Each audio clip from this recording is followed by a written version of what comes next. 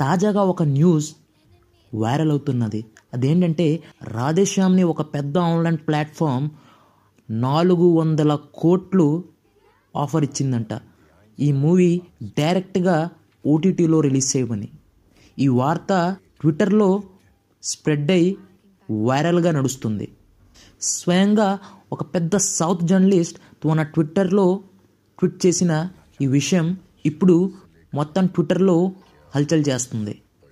అయితే ఈ వార్త ఎంతవరకు నిజం అనేది ఇప్పుడు వరకు స్పష్టత లేదు. ఈ వార్త కానీ నిజమైతే రాధేశ్యామ్ టీం ఈ ఆఫర్ని ఒప్పుకుంటుందా? సంక్రాంతిలో రిలీజ్ చేయకుండా ఈ మూవీని డైరెక్ట్గా ఓటీటీలో రిలీజ్ చేస్తుందా అనేది పెద్ద క్వశ్చన్ మార్కే. చూద్దాం.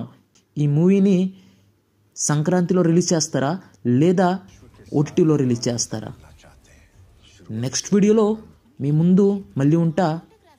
అప్పుడు వరకు ఈ ఛానల్ని సబ్స్క్రైబ్ చేసుకోండి.